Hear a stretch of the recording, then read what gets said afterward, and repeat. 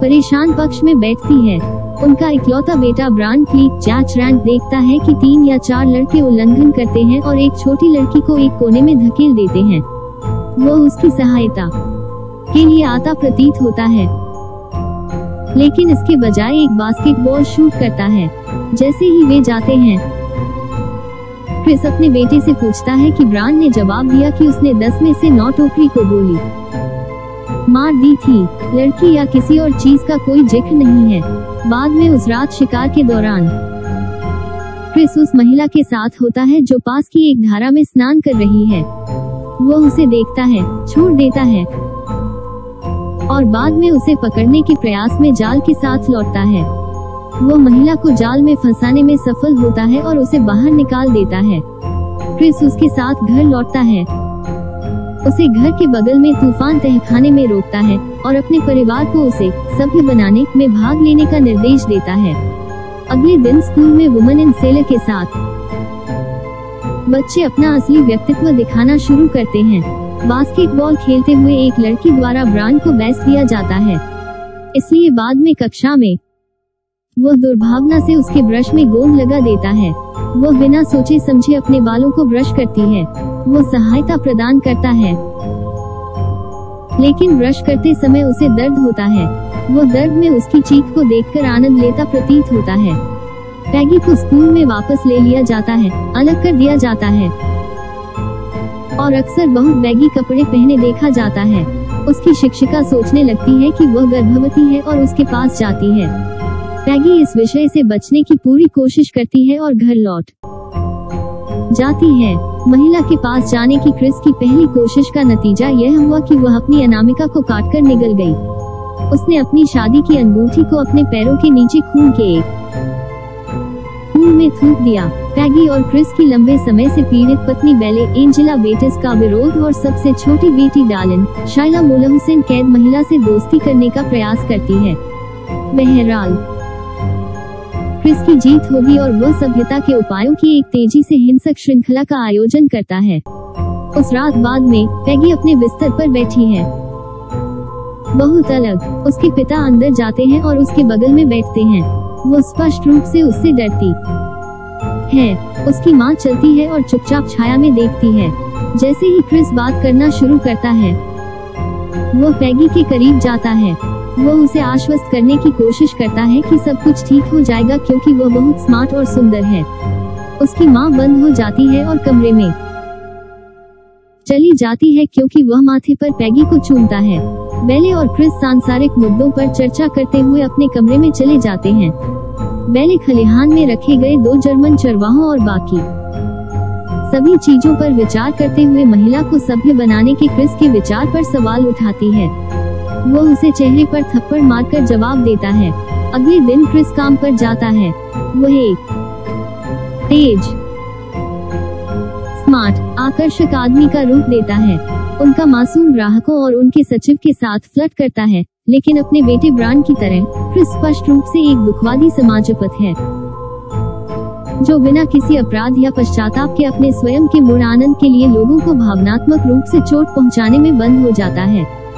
हालाँकि, ब्रांड के विपरीत, क्रिस एक अच्छे अच्छे चेहरे के पीछे छिप जाता है जो हर किसी को बेवकूफ़ बनाने का प्रबंधन करता है। जबकि क्रोधित ब्रांड अपना खुद का मुखौटा लगाने के लिए बहुत कम प्रयास करता है। स्कूल में ब्रांड अपने सहपाठियों का सीधे सामना किए बिना या शारीरिक रूप से हमला किए बिना दुर्भावनापूर्ण रूप से उन पर हमला करना जारी रखता है। पैगी को उसकी शिक्षिका फुटबॉल के मैदान पर रोती हुई दिखाई देती है। दिन के अंत में, क्रिस अपने बच्चों को स्कूल से उठाता है, जिसमें पेगी काफ़ी असहज महसूस करती है। घर पर क्रिस महिला को उबलते गर्म पानी से नहलाता है। बेले देखता है कि वह महिला के स्तन को सहलाता है।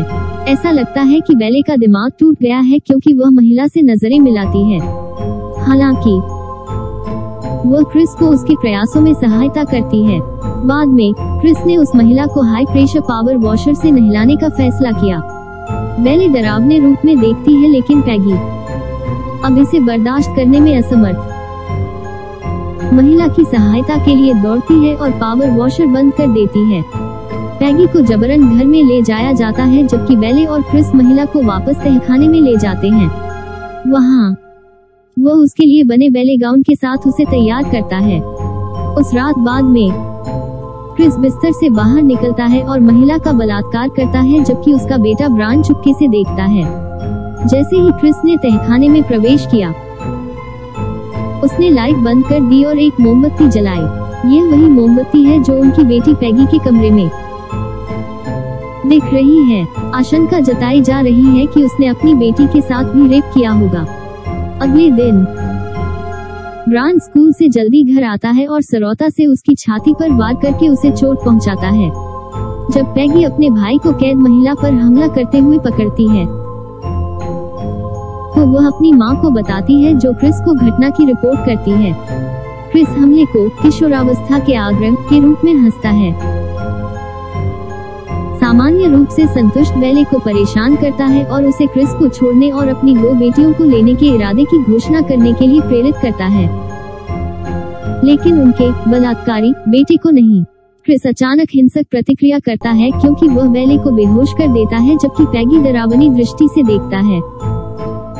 लेकिन ब्रांड स्वाभाविक रूप से महिलाओं के प्रति अपने पिता के दुर्व्यवहार के प्रति कोई भावना नहीं दिखाता है। तभी पैगी की शिक्षिका सुश्री रैटन काली बेकत दरवाजे की घंटी बजाती है।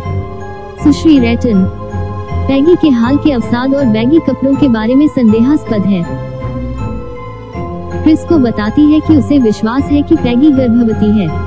क्रिस यह कहते हुए क्रोधित हो जाता है कि सुश्री रैटन ने उस पर अपनी बेटी को गर्भवती करने और उसे मारने का आरोप लगाया है। वह और ब्रांड उसके हाथ बांधते हैं और उसे खलिहान में खींचते हैं जहाँ वह जर्मन चरवाहों को रखता है। पैगी विरोध करती है। लेकिन क्रिस उसे दूर धकेल देता है और फिर उसे एक शातिर मौखिक हमले के अधीन कर देता है। खलिहान में क्रिस और ब्रांड सुश्री रेटन को कुत्ते के पिंजरे में बंद कर देते हैं जहाँ दो जर्मन शेपर्ड उसे ताना मारते हैं। यह जल्द ही पता चला है कि पिंजरे में सॉकेट अलेक्सा मासिग्लियानो नाम की एक आखिरी लड़की भी है। जो दो कुत्तों की तरह व्यवहार करती है, क्रिस सॉकेट को पहले बेले के लिए कई बार एनोफ्थेमिया शब्द को दोहराते हुए संदर्भित करता है। सॉकेट और कुत्ते सुश्री रैटन को मारते और खाते हैं क्योंकि क्रिस और ब्रांड मुस्कुराते हुए देखते हैं। बाद में वह ब्रांड को लकड़ी के टुकड़े रैक और बैग लाने का निर्देश देता है क्योंकि कुत्ते इसे कभी नहीं खा सकते हैं। इस बीच पैगी कैदी महिला को तहखाने से रिहा कर देती है। महिला अपने कालकोठरी से फट जाती है और बेले, जो हाल ही में होश में आई है, पर हमला करती है और उसके मृत शरीर को हवा में उछालने से पहले उसके चेहरे का अधिकांश हिस्सा काट देती है। वो फिर खलिहान में जाती है जहाँ वह ब्रांड पर एक लॉनमोवर ब्लेड से हमला करती है जिससे उसका धड़ अलग हो जाता। है महिला फिर क्रिस के दिल को उसके सीने से निकालती है और उसे खा जाती है। अपनी मनोरोगी माँ, पिता और भाई की मृत्यु के साथ, एक भयभीत पैगी अपनी छोटी बहन के साथ भागने का प्रयास करती है। पूर्व में कैद महिला लड़कियों पर हमला नहीं करती है। इसके बजाय महिला अपनी खूनी उंगली सबसे छोटी बेटी, जो इसे चाहती है, और फिर पैगी, जो नहीं करती, को देती है। जंगली महिला सॉकेट महिला के कुत्ते के रूप में अभिनय। और युवा लड़की घर से दूर चले जाते हैं, ज़ाहिर तौर पर एक नया परिवार बनाते हैं। पैगी शुरू में उन्हें दूर जाते हुए देखती है, लेकिन फिर जंगल की ओर उनका पीछा करती है।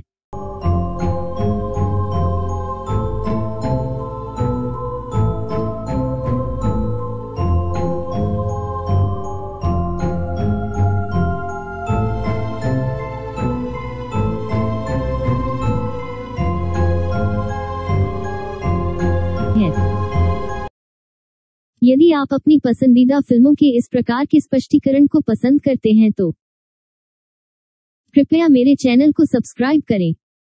धन्यवाद।